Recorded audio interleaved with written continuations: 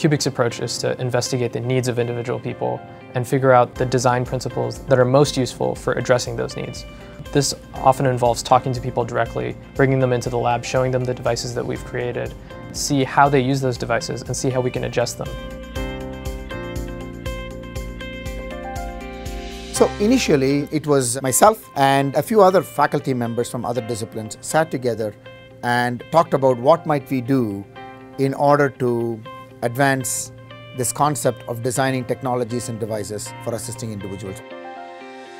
So I think of ability as a spectrum and anywhere anyone can fall at any point in that spectrum. And we think of someone who we may say has a disability, that person may fall on this end, but with assistive technology, we can move forward.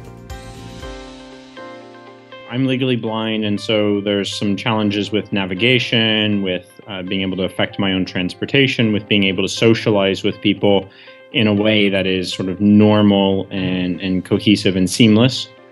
I imagine wearable computers that don't interrupt us when we're engaging with others, but at, at small points in time can give us little bits of useful information just in the moment.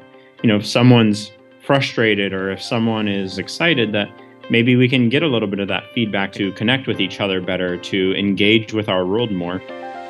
I'm working on a project, it's called the Vibro Glove. On the back of it you can see vibration motors attached onto different points of the different fingers that you have. And by turning them on and off at different times you can create a variety of different patterns or sensations across the back of your hand. And by doing this, you can display different kinds of icons or symbols that mean different things. And the meaning that we want to convey is the emotion or, or affect of another person.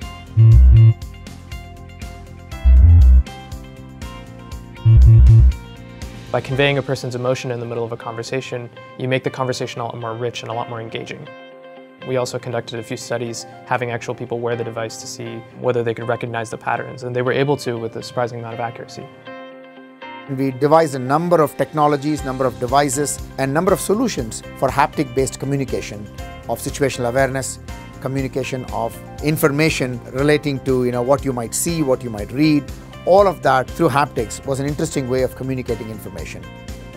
The entire process is not just very personal for the people who are using the devices, but also very personal for me as a person who's creating the devices because I, I get to directly interact not just with the technology, but also with the people that are involved in the process.